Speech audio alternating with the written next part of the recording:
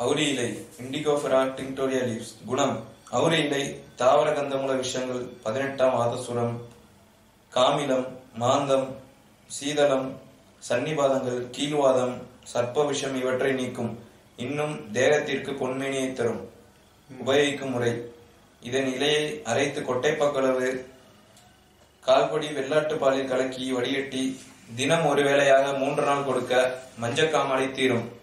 இதன் இலையை அரைத்து சிறங்குகளுக்கு பூசி உலர்த்த உலர்ந்த பின் மாலையில் ஸ்நானம் செய்விக்க விரைவில் ஆறும். இவையுமன்றி அவுரை இலைச்சாற்றில் சித்தப்படுத்திய பூநிலத்தை பொடி செய்து சிறங்குகளின் பேரில் தூவி வர ஆறும். வேலைக்கு ஒன்று அல்லது ஒன்றரை குன்றியடை ஜலத்தில் கலக்கி தினம் இருவேளை கொடுத்து வர இரத்த வாந்தி காக்கை வலி ஈரல்களின் வீக்கம் நரம்புகளை பற்றிய ரோகம் முதலியவை நீங்கும்.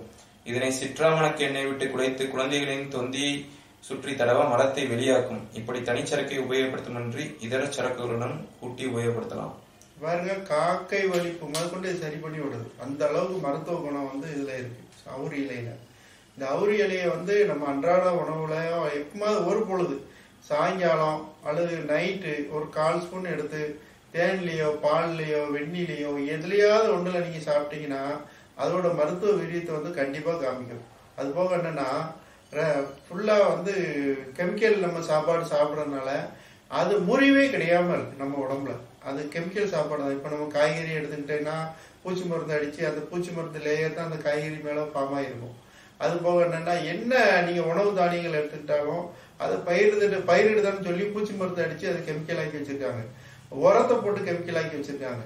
இது போக என்னென்னா பல வகையில் வந்து பய பயங்கரமான கெமிக்கலை தான் நம்ம இன்னைக்கு உணவாக உண்ணுகிட்டு ஃப்ரூட்ஸ்ல இருந்து எல்லாமே வந்து கெமிக்கல் உணவு தான் மாடு ஆட்டு தீவனம் மாட்டு தீவனம் கோழி தீவனம்னு சொல்லி அதுலயும் இப்போ கெமிக்கல் தான் ஆட் பண்ணிட்டு இருக்காங்க. பிராய்லர்லாம் எவ்வளோ கெமிக்கல் ஆட் பண்ணிட்டு இருக்காங்க. அந்த கெமிக்கலை தான் நம்ம சாப்பிட்டுருக்கனால தான் நமக்கு பல வகையான நோய்கள் வருது அதை முறிக்க முறிக்கிறதுக்கு இந்த அவுரியை விட சிறந்த மருந்து வேற எதுவுமே இல்லை. அதனால இந்த கிளிப்பை வந்து ரீகால் பண்ணி பாருங்க. பார்த்து அது என்னென்னலாம் நோய்கள் நீங்குது அப்படின்னு சொல்லிட்டு வராங்க. அதை வந்து நீங்க கண்டிப்பாக நம்ம வந்து வாரத்துக்கோ அல்லது வாரத்துக்கு ரெண்டு முறையோ நம்ம எடுத்துக்கிட்டோம் அப்படின்னா யாருனாலும் சாப்பிடலாம். இது பத்தியும் கித்தியும் ஒண்ணுமே கிடையாது. சாதாரணமாக சாப்பிடக்கூடிய முறைகள் தான் போட்டிருக்காங்க.